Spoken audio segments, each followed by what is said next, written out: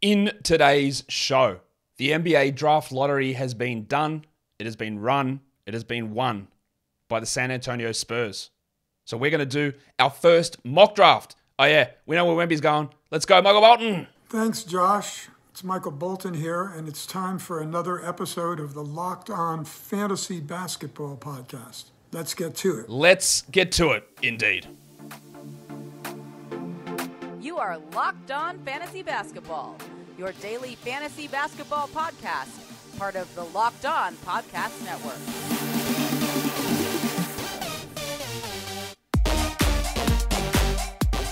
Hello and welcome to the Locked On Fantasy Basketball podcast brought to you by Basketball Monster. My name is Josh Lloyd and I am the lead fantasy analyst at basketballmonster.com.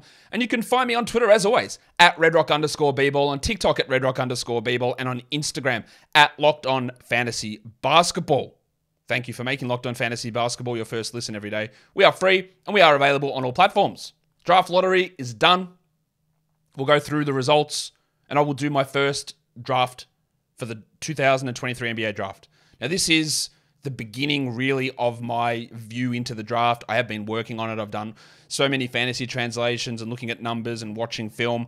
But over the next 38 days, I think it is, until the NBA draft, we're going to have tons of draft analysts on. I'm going to go through more information, look at more film, look at all a whole bunch of different things, and my opinions on this will change. So this is the first mock draft. We'll probably end up with five of them, I reckon, on the channel and go through how things change. So bear that in mind. Also bear in mind that if I do something that's different to uh, consensus or to what you think, it doesn't mean I'm right. It doesn't mean you're right. Who knows? People are wrong with stuff all the time. This is sort of how I view things under the lens of the team, the player, the state of the NBA, the value of these guys, all of that sort of stuff. So you will see some things that differ from consensus here, but that's the fun of it. And this is going to differ from the mock draft I do in two weeks and in four weeks and in five weeks. So, Warnie. Let's get it on, Gilly. this is not going to change though. Pick number one, which is going to the San Antonio Spurs, is Victor Wembanyama. That there's no doubt about this. This is not changing. They are not trading the pick. None of this stuff is happening. He is the number one pick. He will go number one to the Spurs. He will start from day one. Um, people will wonder, I guess, does this impact Zach Collins? Probably a little bit. Does it impact Jeremy Sochan? Probably a little bit. Because he's going to start over one of those two guys. Now, we know that Popovich a few weeks ago went out and said, yeah, Zach Collins is our starting center next season, and he very well might be. That would mean that Wembanyama would start at the four. Sochan can start at the three, but then you've got Keldon Johnson and Devin Vassell. Now, none of these guys are awesome prospects or awesome players, but somebody is going to miss out there on that team. Now, trades could happen, all that sort of stuff. Their big, real need, I thought, was point guard. They're not going to take a point guard here. So somebody, Vassell, Keldon, Sochan, Collins, is going to move to the bench almost undoubtedly. It probably will end up being, who will it probably end up being? If it was me, it would be Keldon Johnson. But it's not me. I think it probably will end up being, actually, I don't even know. It's probably Zach Collins, but I don't think that you want to start Wembanyama at center. So that would be Sochan, but he's obviously a highly. Pro- I don't know. I need to think more about it, but it doesn't matter. You don't overthink it. You're taking um, Wemby at number one. Pick two. It's Scoot Henderson. Now the Hornets have a very weird roster now. He is to me very clearly, I think, the second best prospect in this draft. Scoot. He's only 6'2", I know that, but he's a 6'9 wingspan player. He's got some room to grow with his shooting, but I don't think you overthink. You don't look at it and go, well, we've got LaMelo. We've got Terry Rozier, so we don't take Scoot Henderson. And there can be some defensive iffiness between Scoot and LaMelo. But all this means to me is that you you definitely look to ship out Terry Rozier at some point coming up really soon. It obviously really hurts any sort of upside that Dennis Smith had. He doesn't really have that much upside anyway. But you take Scoot and you play him with LaMelo. They both do need the ball in their hands. You're going to have a lot of staggering going on here. I would expect Scoot to play lower than usual rookie minutes. It's Steve Clifford, for example, and you've got another capable ball handler in LaMelo. And I do think that Rozier will be traded in the next couple of months. That would be my guess. That's what I'd be looking to do if I was the Hornets. But they do take him. I know a lot of people go, well, Josh, they just they need a forward. They need to replace Gordon Hayward, so they'd take Brandon Miller here. I just don't think you approach the draft that way. And to me, there's a sizable gap between Scoot and Brandon Miller that I don't care to do that. They still do likely have Miles Bridges coming back. There's PJ Washington's restricted free agency. Gordon Hayward's around. He will likely be moved as well. But I don't think you reach ahead for You're not in a position to reach ahead to grab a guy who I think is not as good of a player. You just take Scoot and you figure it out. Like Scoot might be better than Lamelo. So in the end, you move Lamelo if that ends up being the case and they don't work together. I'm not saying that's the case, but you just take Scoot. Pick three. At the moment, it's Portland. It will not remain Portland. I'm really confident that it will not remain Portland. So a team, Brooklyn, Toronto, Philadelphia, Boston, um, I don't know who else it could be. They might be getting the rights to pick three, Anthony Simons, other draft picks. Even if they didn't, so let's say, for example, that Portland kept this pick. I think Amen Thompson makes sense for the Blazers. He's a guy that can work with Shaedon Sharpe. He could work with Simons. He can work with Lillard.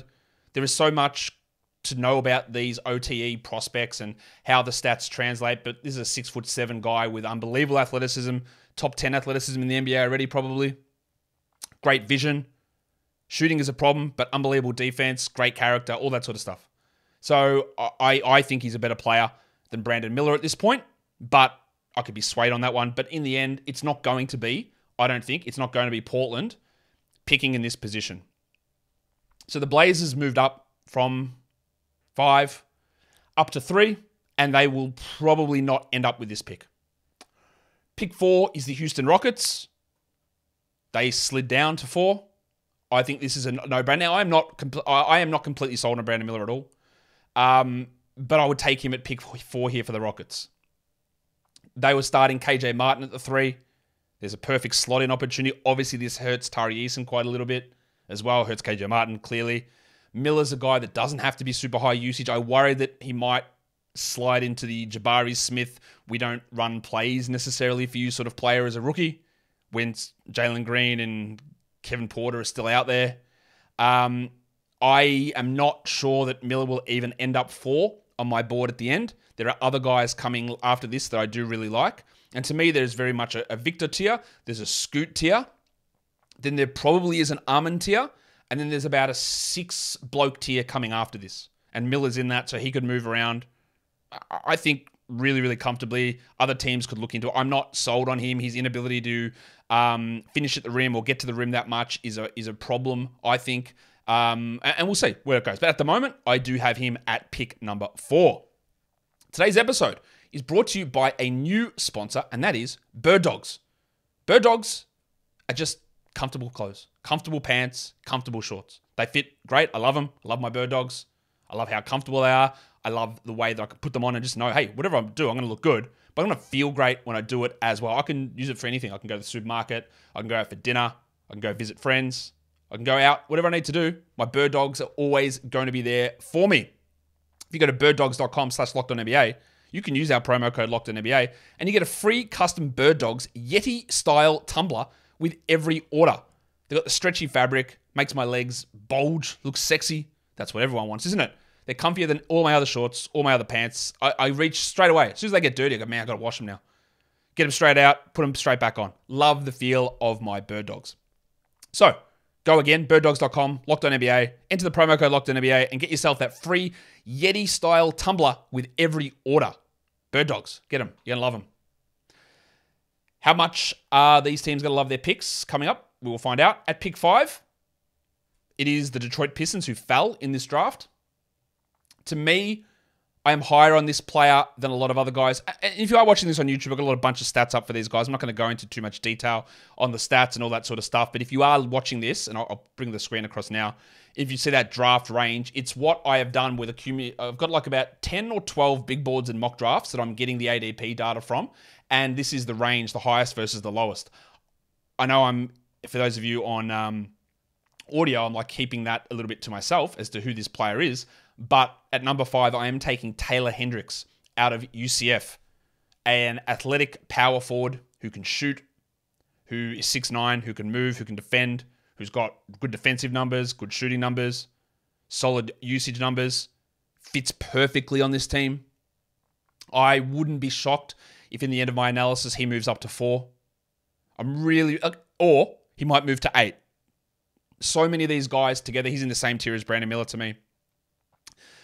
Hendricks at 12 on certain people's boards is way too low, in my opinion. I just think that that versatile forward who can shoot and can defend a lot of his numbers, when I did some comparisons in college, came out very similar to Robert Covington's college numbers, but he did it as a freshman. Covington did it as a senior. And we know how impactful Covington was as a, you know, if you get picking a pick five and get Robert Covington, you're probably not super happy. But I think he's got way more upside than that. He's still super young. Um, and that, that's the thing with this draft class as well when we're talking fantasy and dynasty is that nearly every pick that we're going to be looking at here is a 19 or 20 year old. Nearly everyone's 19. And when we do fantasy translations for rookies, a lot of the time, some of the top guys end up Bennedict Mathurin, Jaden Ivey, like, oh, they came out as like a 300th best player. And that's, you know, then if they played 30 minutes a night and then they you know, end up in 200th or 190th. This year, every player that seems to come out translates at 130, which is so, so big. It's so big. There are 18 top 10 talents in this draft, I think. And the other thing we talk about is like, oh, well, this best player looks like he's a center or he's a guard that doesn't do much. In this year's draft, it's like, oh, all of these guys are wings. They are forwards who uh, who can defend and who have got size, and that's it. There's hardly any centers. There's not many point guards. It's wings, and that's what the NBA runs on, and that's why it's so exciting this draft. So I've got Taylor Hendricks at number five. At number six, going to your Orlando Magic. I'm going to take the other Thompson, and that's Ausar Thompson. I think he's just a slightly worse athlete than Amen. I think he's probably a better shooter, maybe a little bit less vision. It's really close. I think he probably is going to be a better shooter than Amen. Amen is not a great shooter, neither is Ausar. And that, that's going to hold those guys back. And I still don't really know how to process all the overtime elite numbers because even if you look at this, look at these numbers. These are all these key stats, by the way, per 36 minutes 3.5 steals and 1.8 blocks for Ausar Thompson per 36 minutes. They are insane numbers. Now, it's a lot of it's not real because of the competition level. And he and his brother are two of the older players. It's him, uh, it's the two Thompsons and Brandon Miller who are 20. And nearly everyone else we're talking about is going to be 19. So they are like a full year older than a lot of these guys. And that is a little bit of a ding. But I do have Ausar Thompson going at number six to the Magic. Size. Could how does that work next to Markelle Fultz? I don't know about that one. But another long player, unbelievable defender that would make things really tough for Jalen Suggs and Cole Anthony on that team um, and the shooting would be a problem. But I do like him there. I could easily see the next guy going to Orlando, but that does create a real problem, logjam problem. I could also see this guy going at number four. I could very easily see Cam Whitmore being better than Brandon Miller.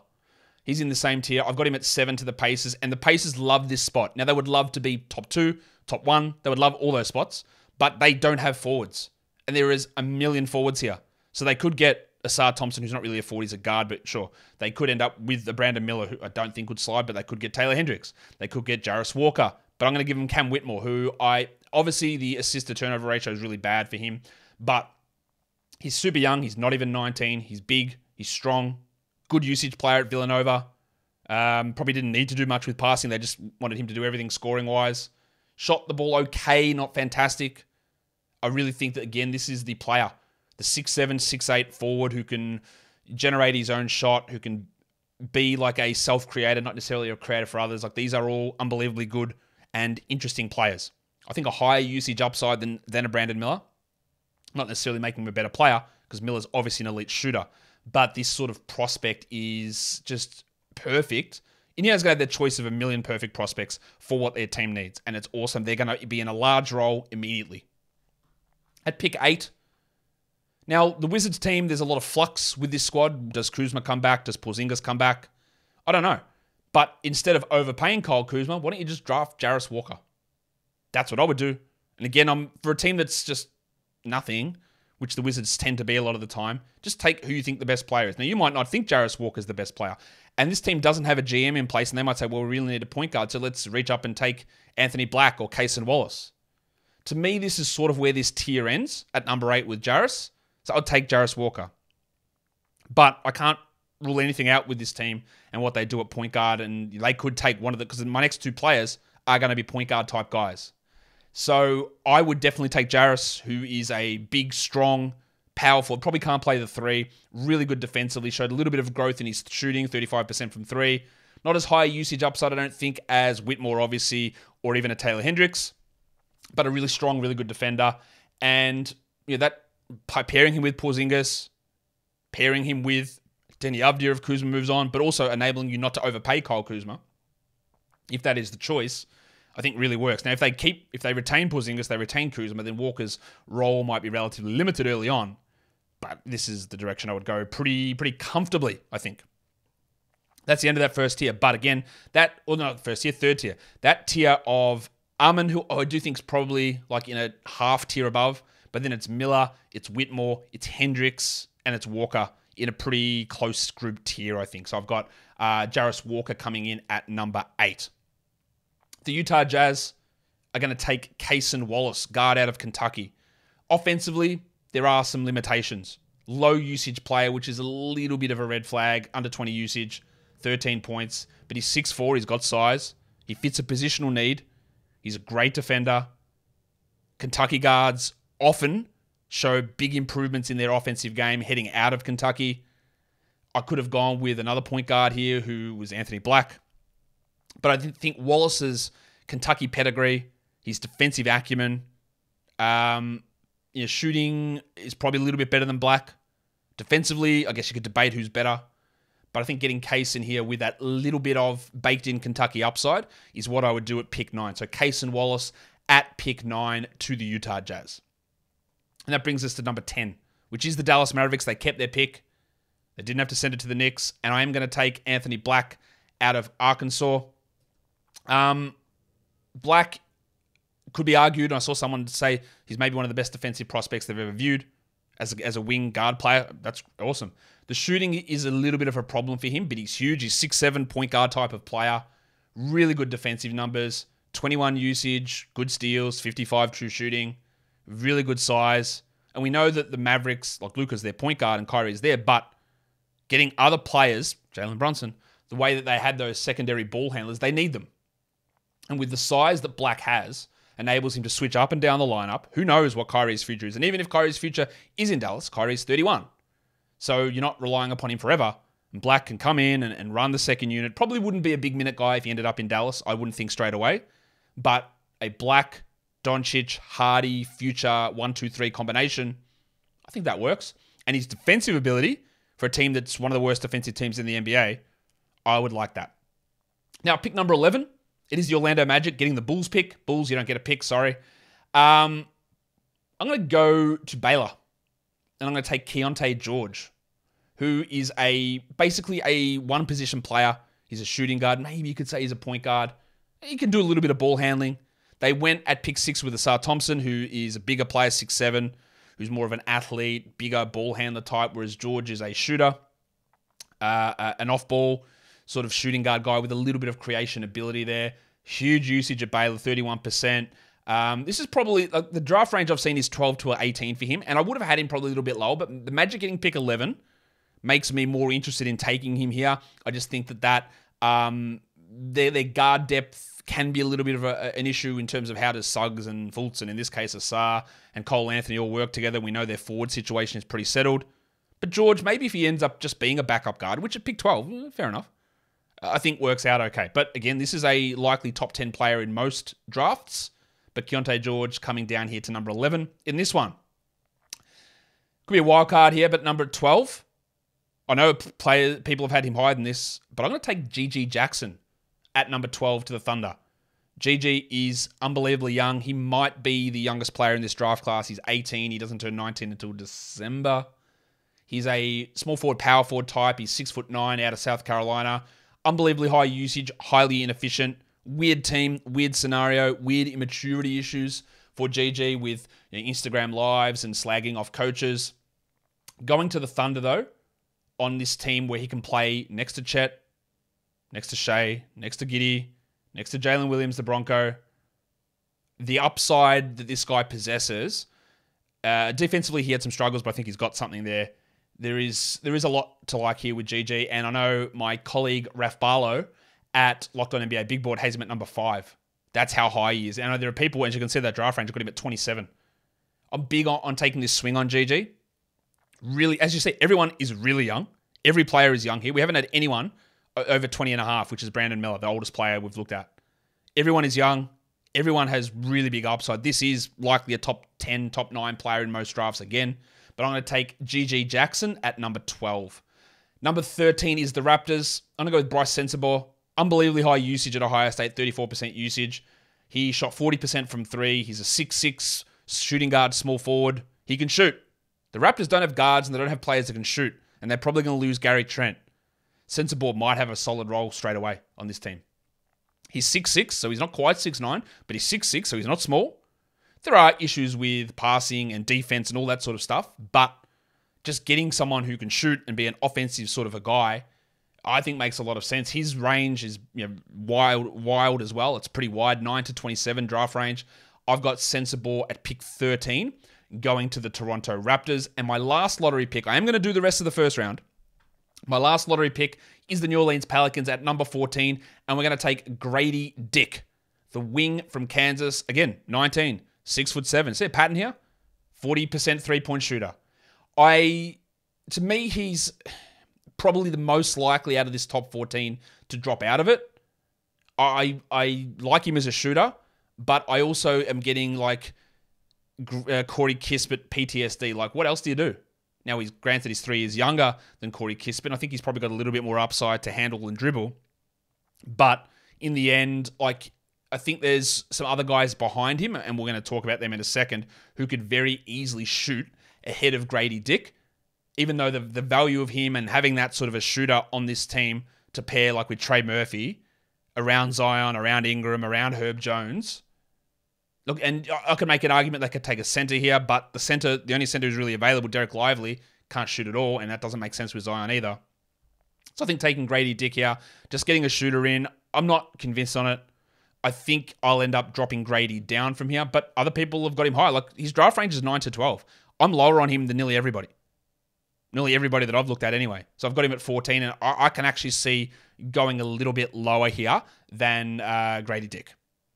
All right, so to recap my lottery, which we'll go into the rest of the picks in a second. Number one, Wembanyama to the Spurs. Number two, Scoot Henderson to the Hornets. Number three, Amen Thompson to the Blazers, which won't stay there. Brandon Miller to the Rockets at four. Taylor Hendricks to the Pistons at five. Ausar Thompson to the Magic at six. Cam Whitmore to the Pacers at seven. Jarace Walker to the Wizards at eight. Cason Wallace to the Jazz at nine. Anthony Black to the Mavericks at 10. Keyonte George to the Magic at 11. GG Jackson to the Thunder at 12. Brice Sensabaugh to the Raptors at number 13. And at 14, we had Grady Dick going to the Pelicans. So let's get into the rest of the draft. At pick number 15, it is the Atlanta Hawks. And I'm going to take Leonard Miller, a guy that had a real chance as an 18 year old to be drafted last season in the 20s. Um, went back into the draft. He's a 6'10 forward who's got some shooting upside, but he's athletic. He's a great finisher. Um, you know, on this team, there's Jalen Johnson as a young forward upside player. I think Miller at 6'10 can play the three. And I wouldn't say DeAndre Hunter's locked in as the long term star there. And having a Miller, Johnson, Griffin two through four combination in the future with a lot of versatility there makes quite a bit of sense to me.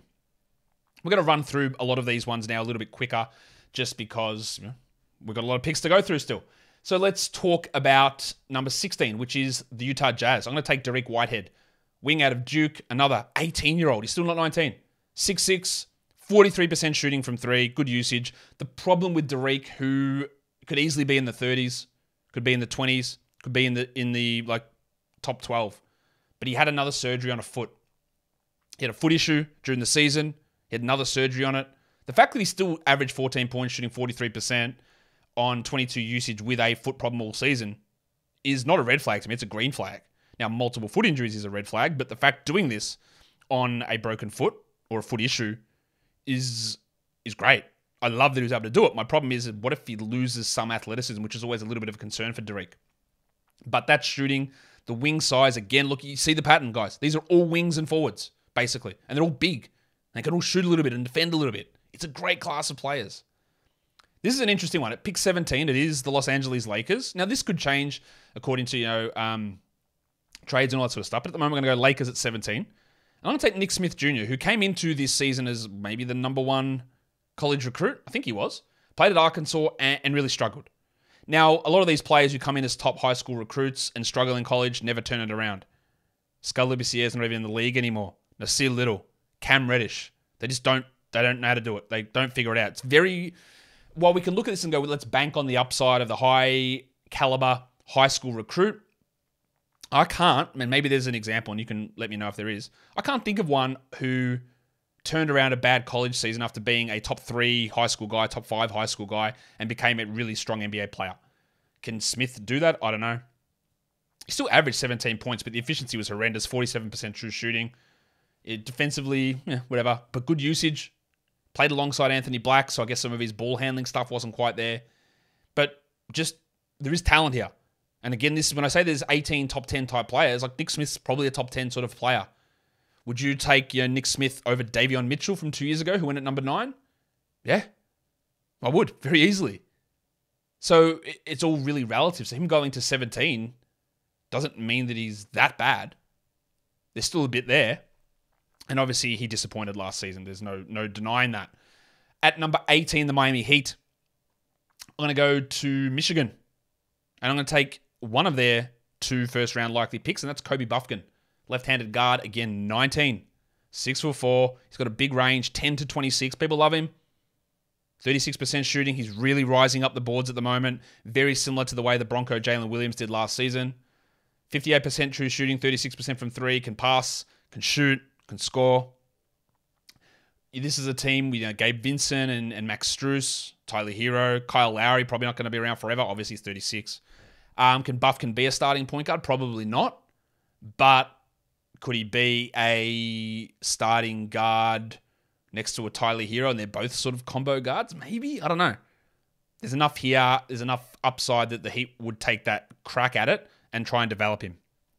At pick 19, this is one of the most interesting players for fantasy managers, and that's Dereck Lively, the second from Duke.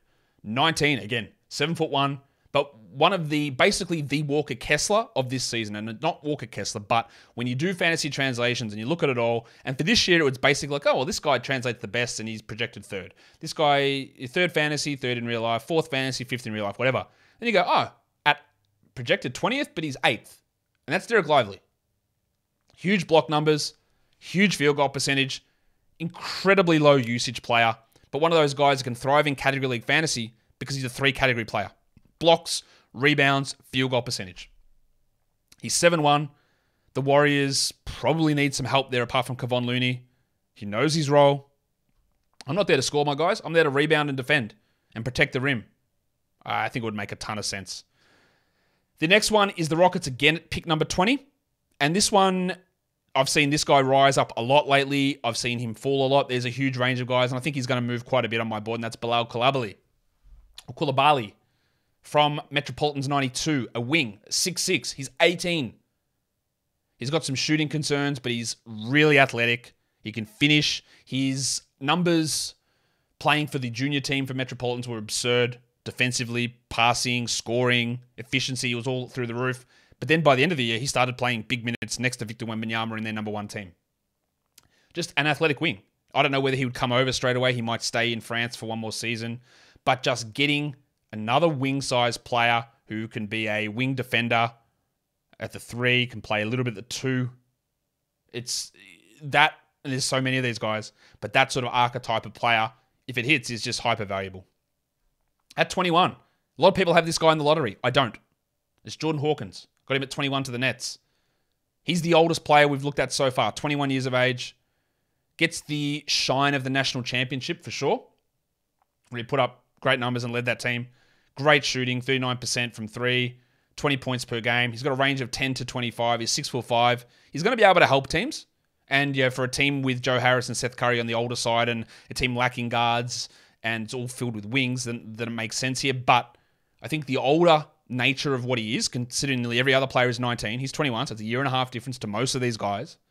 The lack of what else can you do is, is a worry there. Defensively, what else can you do? Can you dribble? Can you finish? Can you do anything? Or are you just a bit of a one dimensional player?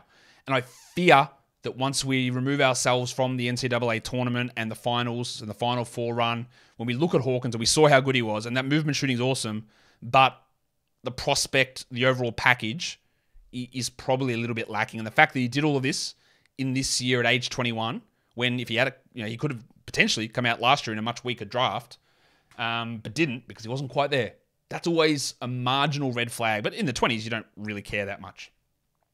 The Nets have got back to backs. They're going to go pick 22 here. They're going to go to the G League Ignite, the third Ignite player in my mock draft. That's Sidy Cissoko. I said, listen to him as a shooting guard. He's probably more of a small forward. He's a wing. Six foot five, 19 again. Big range of his um, draft, 18 to 38. Shooting is, is a concern, but he's athletic. He can pass, like so many of these guys. He can defend, good steals, good block rate. The shooting is a worry, though 44, 31, 64 from the field, from three, and from the line is a real problem. But a lot of his markers, his assist numbers, his steal numbers, his block numbers, his three point volume equates to mm, maybe this guy is an elite prospect. And I said there was 18 top 10 players. I, I still believe that. But you see the night, like, see another one? Like, if he ended up a top 10 player out of this class, I wouldn't be shocked. Also, wouldn't be shocked if he was the 35th best player. But there's enough there in a passing wing who's not afraid to shoot, even though he can't, and can defend, and it's got size and length. Uh, these are just the unbelievably important type of players in the NBA. The next guy, not I don't rate him anywhere near as highly, and that's Maxwell Lewis going to the Blazers at pick 23, a wing from Pepperdine. He's a little bit older. He's going to be 21 soon. Six seven, decent enough shooter. High usage guy for Pepperdine, but that, that is Pepperdine. So you know, the usage we need to, to bear that in mind with the team he is on.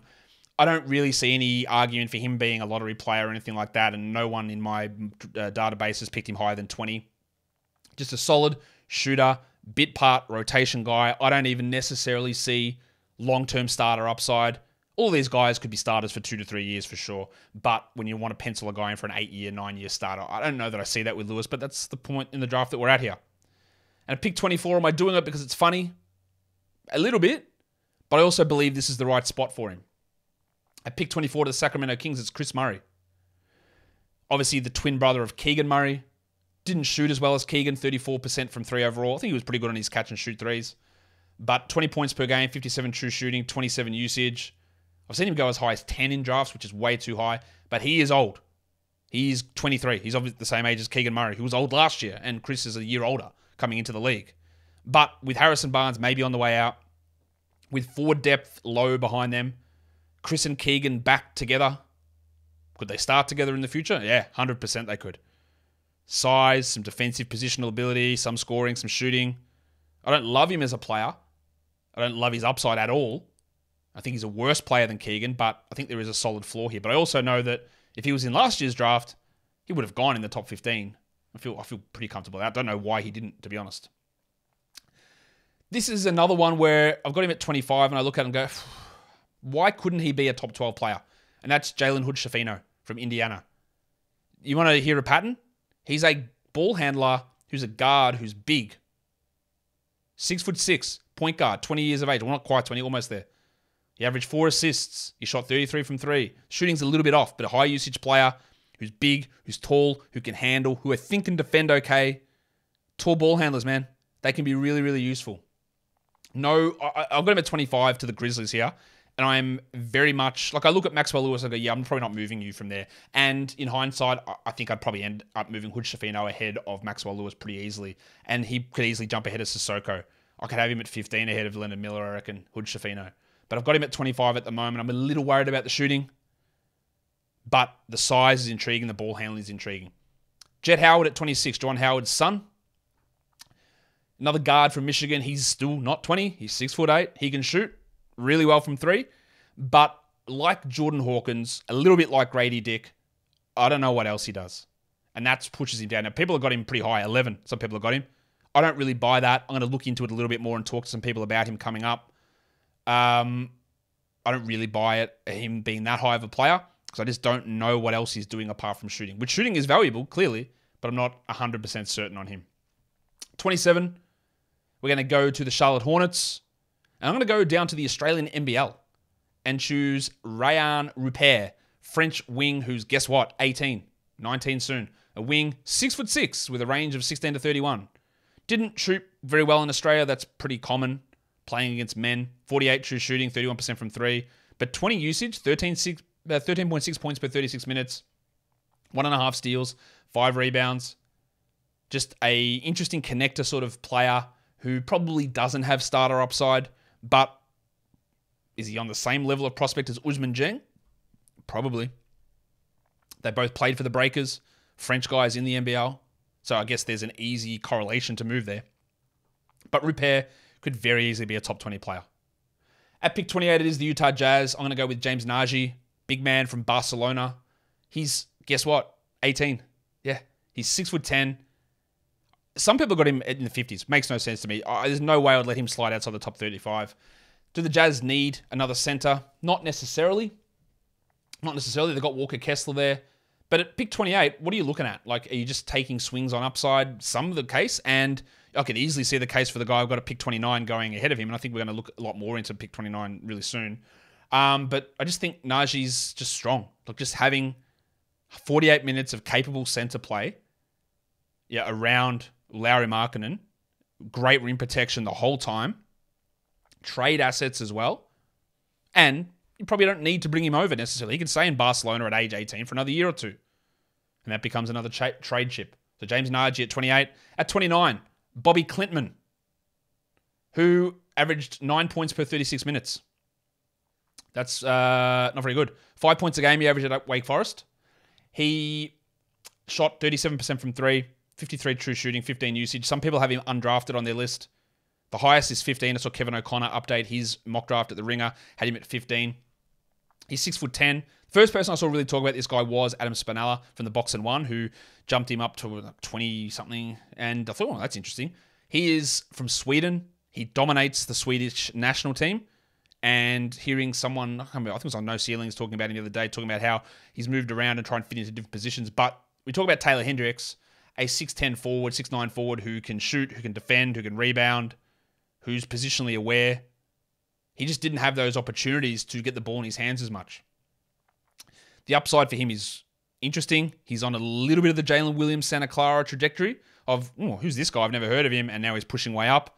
And the part of the reason O'Connor put him at 15 is intel that someone's going to pick him there.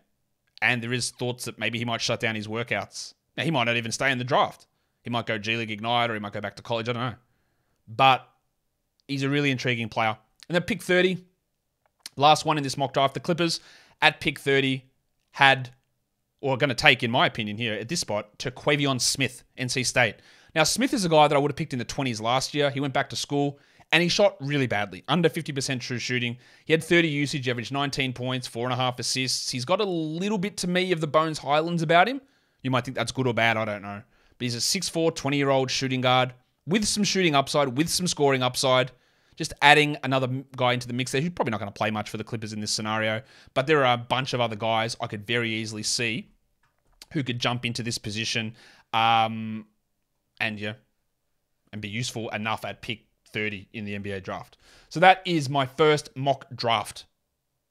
The Spurs, congratulations. Wembanyama. The Hornets, congratulations. Pick number two. The Pistons, commiserations, dropping to five. The Blazers, congratulations on trading Anfernee Simons and getting someone else in. Well done. Follow this podcast, Apple Podcasts, Google Podcasts, Stitcher, Spotify, and on the Odyssey app. And if you're on YouTube, thumb it up. And leave your comments down below. Guys, we are done here. Thank you so much for listening, everyone. See ya.